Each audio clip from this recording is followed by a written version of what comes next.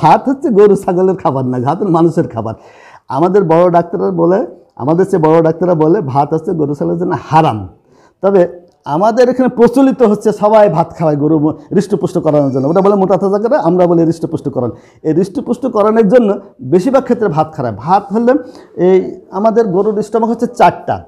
চারটা স্টকে ভাত থেকে গ্যাস, তারপরে বেশিরভাগ ক্ষেত্রে বেশিরভাগ ক্ষেত্রে গ্যাস তারপরে বদহজম, তারপরে পাতলা পায়খানা, এই জন্য ভাতের ক্ষতিকারক বেশি। যার জন্য আমরা ভাত খাওয়াতে একেবারে নিষেধ করি। যার জন্য এই আমাদের কৃষকরা ভাত খাওয়ানো অভ্যস্ত এই কারণে ভাত খেলে একটু মোটা তাজা হয়, কিন্তু ক্ষতিকারকটা জানে যে অনেক সময় হঠাৎ করে হাট ফেলকে মারা যায়।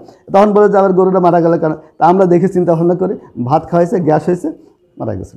এটা আমরা প্রায় দেখি। তা আমরা পরামর্শ দিই, আমি তো এতগুলো বললাম, পুষ্টিমান খাবারের কথা বললাম, দানাদার খাবারের কথা বললাম, এখানে কোনো জায়গায় ভাত খাওয়ার কথা বললাম না। এই ভাতটা হচ্ছে অনেক আগে থেকে মানে এখান থেকে কৃষকরা আমাদের কাছে আসে না। ওই সাধারণভাবে বিভিন্ন জায়গা থেকে কী পরামর্শ শোনে, শুনে বাস ভাত খাওয়ায়। আমাদের কাছে ইনশাল্লাহ আসলে বলে, আমরা একে ভাত হারাম। আমার চেয়ে বড় ডাক্তার বলে ভাত হারাম। তবে ভাত খাওয়াচ্ছে অভ্যস্ত আছে। এই জন্য বলি, ভাত আস্তে আস্তে আস্তে আস্তে অন্য খাবারের সাথে খাবার খেতে চায় না। তখন একটু ভাত দিয়ে খায়, এর খাওয়ানো ধরে আস্তে আস্তে ভাতটা কমাইতে বলি। এ আমার কাছে, আমার টেকনিক হচ্ছে এইটাই